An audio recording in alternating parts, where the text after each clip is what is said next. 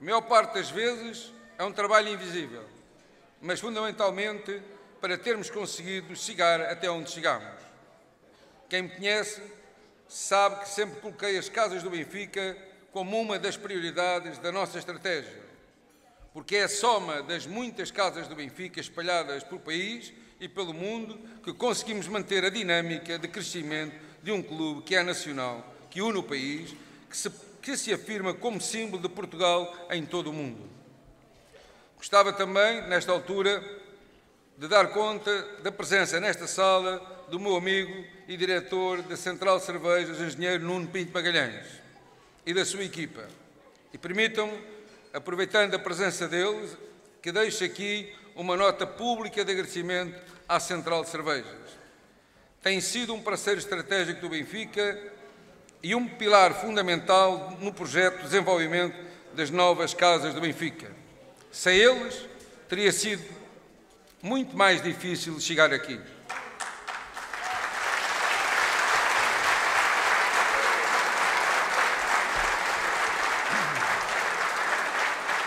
Também, também é justo referir, e a Central de Cervejas fará justiça, que o Benfica valoriza os seus parceiros, que o Benfica trabalha diariamente no sentido de que eles possam rentabilizar todo o seu investimento. No Benfica, tratamos bem quem nos trata bem. Quando eu visito as casas do Benfica, em Portugal ou no estrangeiro, faço com muita frequência há uma mensagem clara que faço questão de passar. O Benfica não é nem está em Lisboa. O Benfica está onde estiverem os seus sócios e adeptos, e a vossa presença nesta sala é o melhor exemplo disso mesmo. O clube mudou muito na última década. Ao contrário do que era prática do passado, o Benfica pensa a médio e longo prazo. E isso tem sido fundamental e um fator diferenciador que explica a nossa recuperação enquanto clube e enquanto referência a nível global. Quando olho para esta sala, descubro aquilo que o Benfica tem de melhor: os seus sócios e adeptos. Sem vocês, nada disto faria sentido.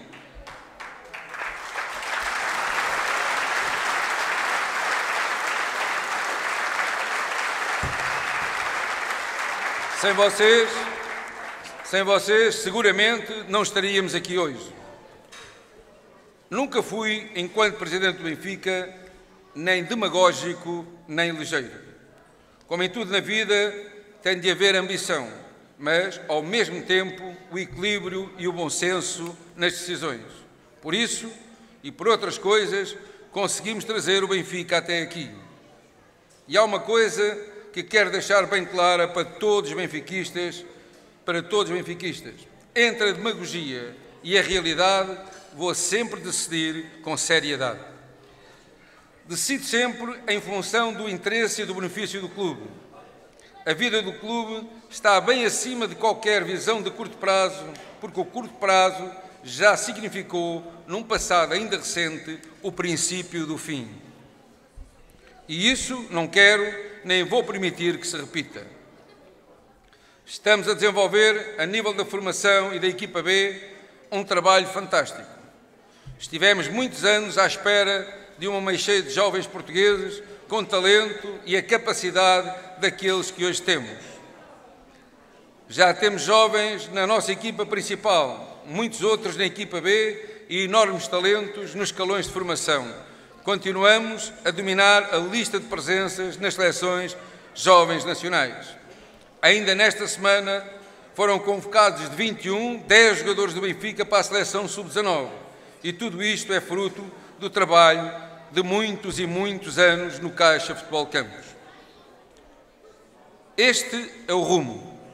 É por isso, é por aí que é por aqui que vamos. E tenho a certeza de que a médio e longo prazo vamos ser reconhecidos pela opção tomada.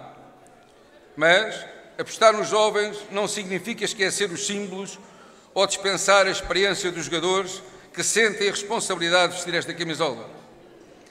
A responsabilidade de transmitir aos mais novos o que é o Benfica, o peso que deve significar chegar a este clube. Temos de valorizar os que sentem e os que passam a mística do Benfica. Temos de defender os nossos, principalmente quando os nossos têm 12 anos de casa, a braçadeira de capitão e a ambição de um jovem acabado de chegar.